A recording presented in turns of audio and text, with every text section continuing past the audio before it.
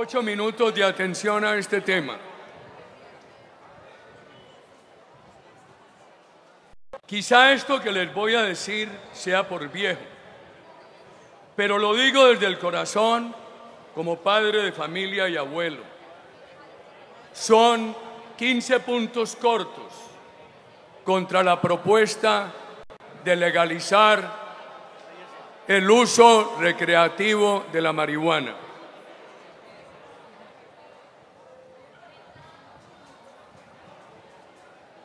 Primer punto. Colombia permite el uso científico y medicinal.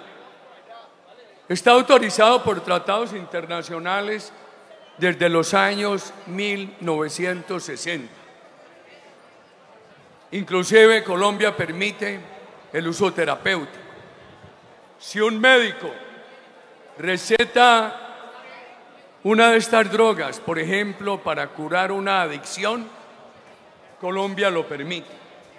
Segundo, Colombia no criminaliza el consumo ni la dosis personal. Aquí a las personas no las llevan a la cárcel por consumo, ni por portar la dosis personal. Tercer punto, Colombia da prioridad a la prevención y a la rehabilitación.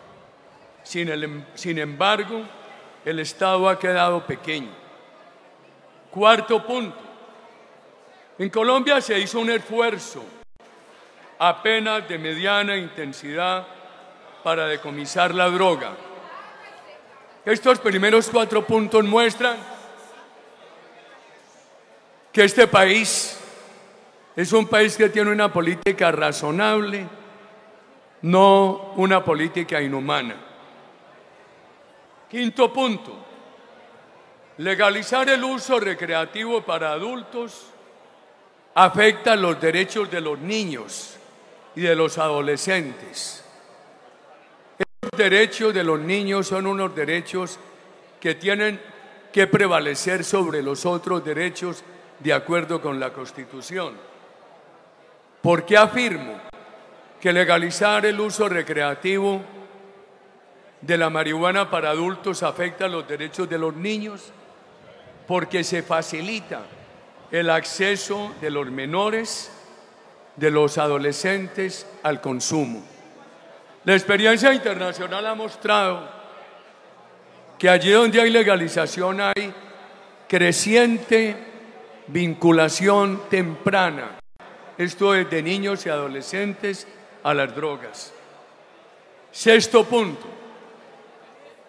Los científicos afirman que la marihuana es un depresivo y dispara esquizofrenias, especialmente en jóvenes, en niños, enfermedades mentales y tendencias al suicidio.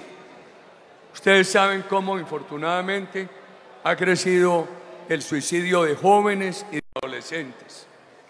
Séptimo punto. El Instituto Colombiano de Bienestar Familiar concluye que el 41% de los delitos de los jóvenes y menores corresponde a quienes han estado consumiendo alcohol o droga. Octavo punto. La legalización ha demostrado que aumenta el número de niños y de adolescentes que se inician en el consumo. Hoy denunció la comunidad aquí en Villavicencio casos de niños de 11 años iniciándose en el consumo de la droga. Noveno punto. La legalización aumenta el mercado ilegal, induce a otras drogas no compensa con impuestos los mayores costos en salud.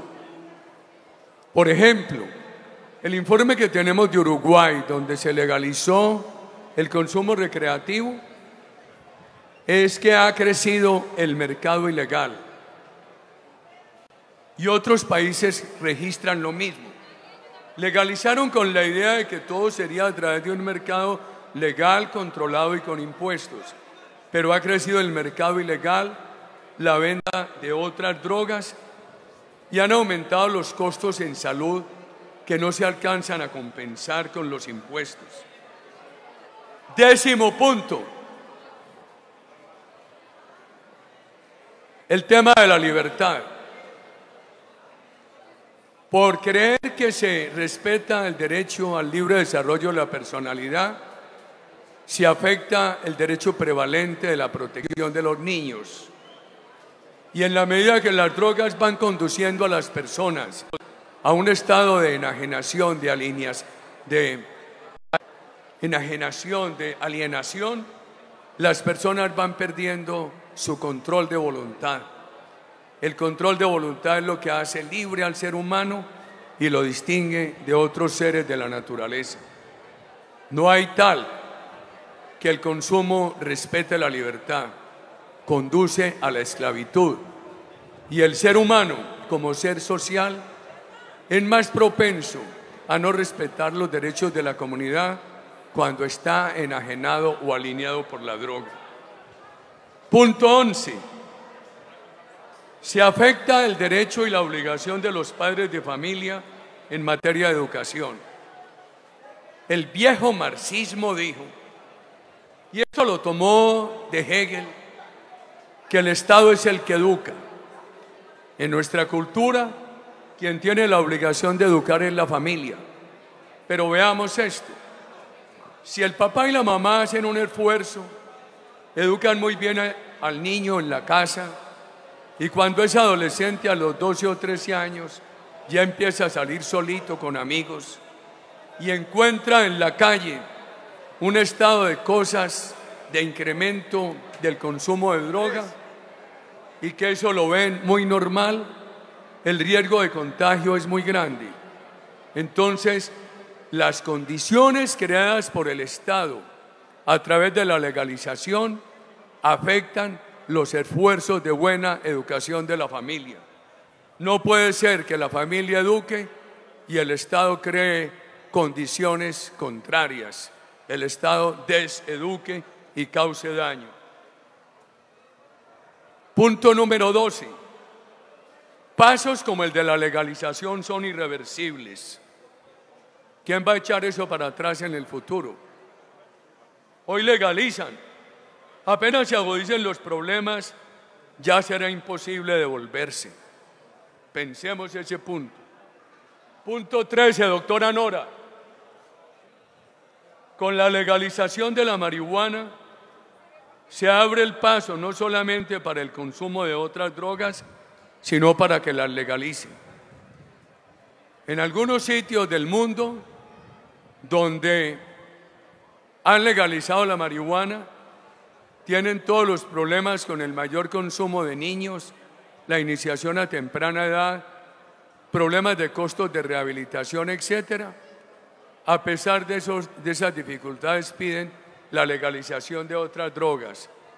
Aquí, sin haber legalizado la marihuana, ya están pidiendo la legalización de la cocaína. Punto 14. Es muy importante decir esto en el meta, que es inserción de la patria en la Amazonía. Las drogas son en Colombia las mayores enemigas de la selva amazónica. Punto 15 y último, el microtráfico, la violencia. En los municipios cafeteros de Colombia se estima que el 14% de las nóminas que se pagan por recolección de café va a microtráfico, que es un gran factor de violencia que vinculan a muchos jóvenes al negocio del microtráfico y eso lo suministran grandes bandas, que hay un control por parte de todos los grupos criminales, que esos jóvenes no solamente tienen el negocio del microtráfico, sino que ellos son expendedores y consumidores, que terminan muchos en la violencia, en la cárcel, o de habitantes de la calle, como lo escuchamos esta mañana aquí en Villavicencio. El ejemplo de alguien que nos dijo, las drogas me, llegaron, me llevaron a ser habitante de la calle. Por fortuna me he podido rehabilitar y hoy estoy contra las drogas. Nosotros tenemos dos opciones. Quedarnos tranquilos y dejar que a nuestros jóvenes todos los días les creen más condiciones de drogadicción y que el único destino que les garanticen sea el de habitantes de la calle. Segunda opción, que sean estudiosos, estén en la cultura, en el deporte, construyan familias, que sean ciudadanos con valores, con tolerancia y constructores de cohesión social. Les dejo estas 15 reflexiones que las hago a mis 70 años como padre y como abuelo. Ojalá el partido le diga a todos los colombianos que este país tiene una legislación equilibrada, no criminaliza el consumo, no criminaliza la dosis personal, permite desde los años 60 el uso medicinal, científico y terapéutico de las drogas, pero que no demos el paso que sería irreversible y en el mediano plazo dañino de la legalización recreativa de droga alguna. Muchas gracias a todos ustedes por habernos acompañado.